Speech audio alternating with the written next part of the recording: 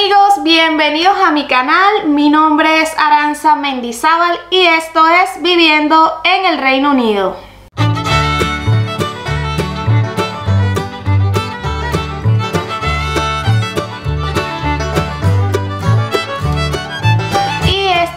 Primer video de este año 2021 así que quiero desearle a todos ustedes que hayan pasado un feliz año. Y como muchos ya saben el 31 de diciembre del año 2020 se terminó el periodo de transición entre el acuerdo que existía entre el Reino Unido y la Unión Europea Así que en el video del día de hoy te voy a explicar de una forma muy sencilla 10 claves para entender cuáles son esos cambios que vienen ahora para este próximo 2021 tras la finalización del Brexit. Pero antes de comenzar con este video del día de hoy, quiero invitarte a que te suscribas al canal. Solamente tienes que darle clic al botoncito rojo que aparece debajo de este video y listo, ya estarás suscrito. Además también si no quieres perderte ninguno de mis videos, te invito a que actives la campanita de notificaciones para que así YouTube te envíe una alerta cada vez que haya un video nuevo en el canal.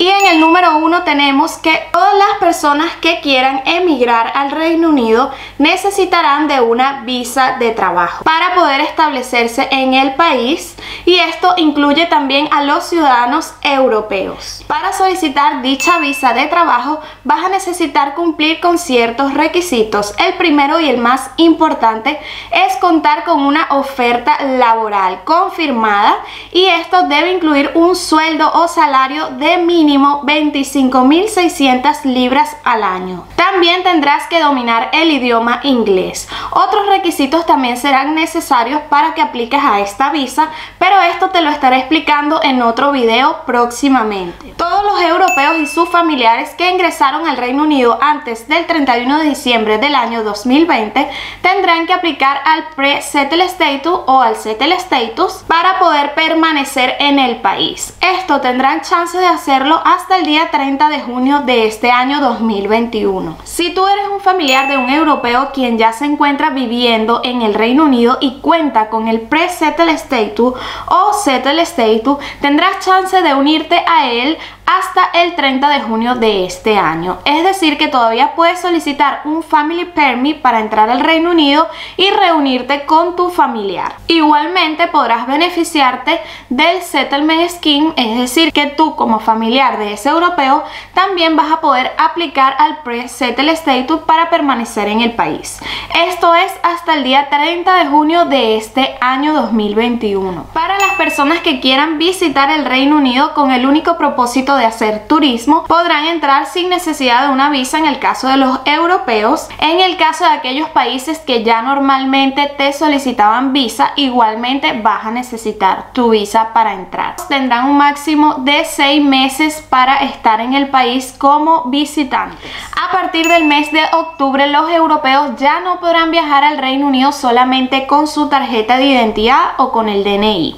Es decir, que a partir de octubre vas a necesitar de tu pasaporte válido para poder viajar entre la Unión Europea y el Reino Unido. Al menos que seas residente ya de Reino Unido, sí vas a poder viajar con tu tarjeta de identidad.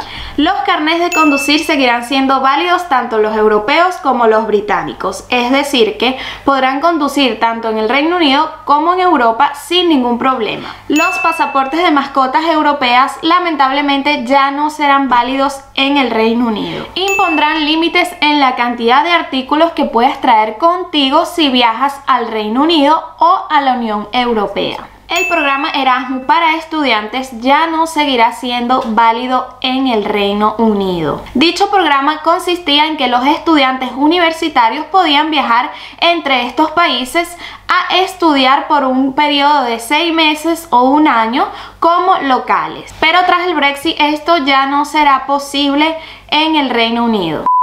Y bueno, esto ha sido todo por el video del día de hoy. Espero que esto les aclare muchas dudas. Y por supuesto te invito a que si quieres seguir viendo este tipo de contenido, te suscribas a este canal, actives la campanita de notificaciones para que no te pierdas ningún video y así YouTube te pueda enviar una notificación cada vez que haya un nuevo capítulo en este canal. Y también no olvides regalarme tu like Si tienes alguna duda o alguna pregunta también la puedes dejar abajo en los comentarios de este video. Te recuerdo que en este canal se suben videos todos los domingos a las 6 de la tarde.